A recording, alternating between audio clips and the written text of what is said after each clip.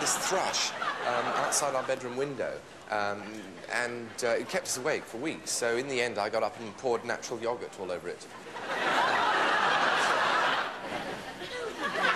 men, men are just so fragile, aren't they? You know, you've only got to say something like, um, "You've got an absolutely tiny one, and you're hopeless in bed," and they get all sort of hurt.